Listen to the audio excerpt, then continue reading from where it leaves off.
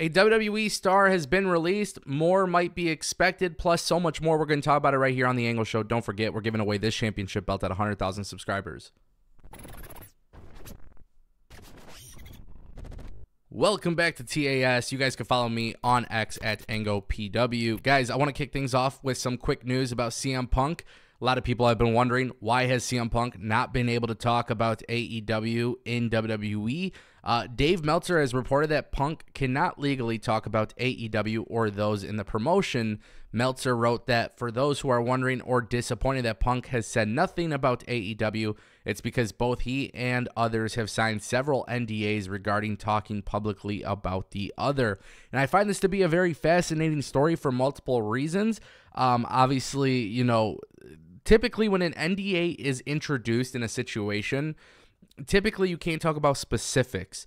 Um, I'm curious if that's, you know, part of CM Punk not talking about AEW because ultimately at the end of the day, AEW making a reference to CM Punk, but then other AEW talent have publicly spoken about CM Punk. You know, it just it's a very confusing gray area as to what can be said if anything. Now, in the case of CM Punk and the AEW stuff, I for one would rather not see CM Punk shoot on AEW in WWE. I for one truly believe that CM Punk should move on and AEW should move on. It was a very ugly time for AEW, and the fact that people are still talking about it, myself included, it actually sucks. But the reality is, this has become such a big story that it's it's going to keep being talked about, right? There's going to be this con uh, this continuous intrigue about the drama surrounding the story, and you know, for CM Punk, I think he is great in WWE, and he's probably happier being in WWE. And and honestly, if I'm WWE, I want to lean in to the CM Punk being a hypocrite, corporate man CM Punk. Like that's how I'm looking at it because one, I think it makes for a great heel character. I think there could be a lot of great promos and a lot of great stories involved with CM Punk basically selling his soul to the WWE, right? In, in terms of storytelling, there's a lot of potential there. But also the idea of CM Punk talking about the drama in AEW, like that shouldn't matter on WWE programming because WWE is the number one wrestling company in the world. That's not something I would expect from this company. So, look, if Dave is right and there's NDAs and that's the reason, I'm sure there's a gray area in what could be said because typically with NDAs, you can't talk about specifics. The idea of him not being able to name drop or something like that, I can't imagine that being part of an NDA, but you never know. And at this point, I don't think it really matters. It's time to move on for CM Punk, and hopefully things get better. Uh, some bad news for WWE, potentially, maybe. Uh, WWE Raw TV deal, we've been talking about this for several, several months. Obviously, there's been a lot of intrigue about Warner Bros. Discovery potentially bringing in WWE. Um, in the latest edition of the Wrestling Observer newsletter, Dave Meltzer had reported that WWE hopes to get $400 million annually. However, analysts believe it'll be closer to $387 million annually. Uh, Meltzer wrote For most of the negotiation period, the idea was FX as the leader, with Netflix, USA, Warner Bros. Discovery, and Amazon Prime all being talked about. Which on this channel, for a year or two now, we have talked about all of these possibly being candidates. The one that was most surprising was Warner Bros. Discovery because we didn't necessarily expect that until about a month or two ago. Uh, Meltzer wrote for most of the negotiation uh, period, the idea was FX as the leader, which I believe FX bringing in Raw is interesting because FX is obviously owned by Disney.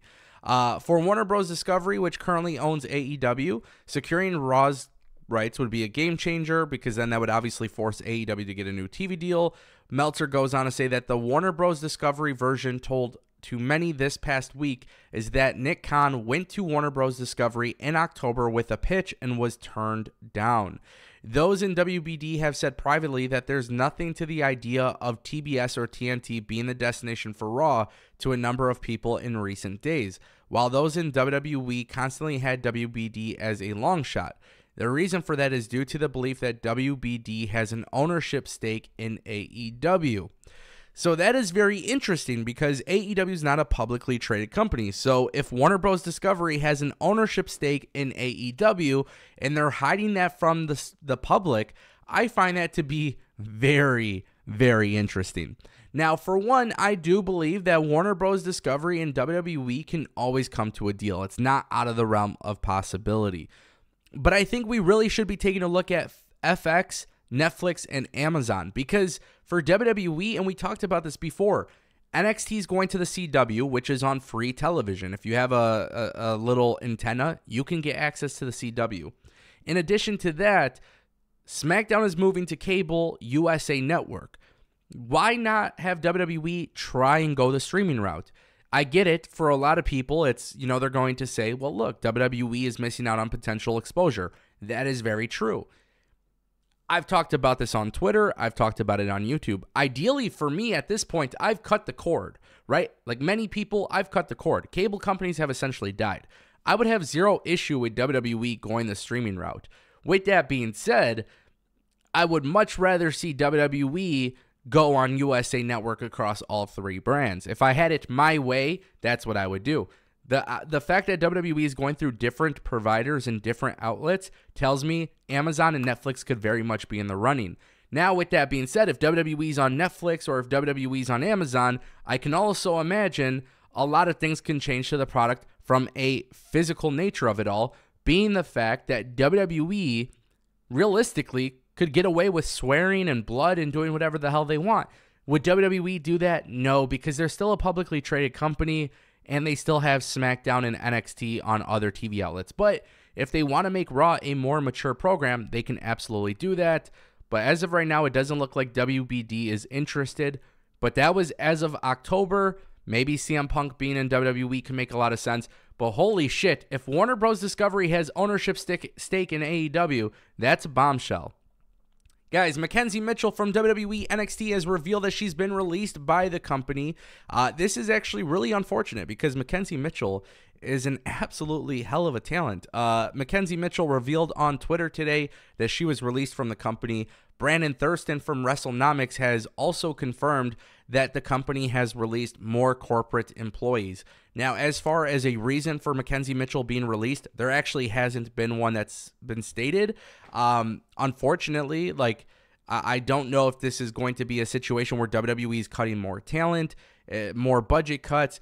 For all we know, there could have been some sort of drama or something backstage that we're unaware of. Maybe something happened. Again, if we're unaware of it, we're unaware of it.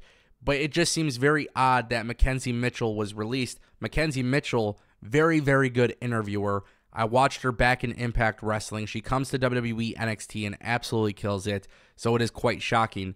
But ultimately, this is WWE. This is the wrestling business. And if there's more releases, I'll keep you guys updated. Don't forget, we're giving away this championship belt once we hit 100,000 subscribers. So go ahead and click subscribe today.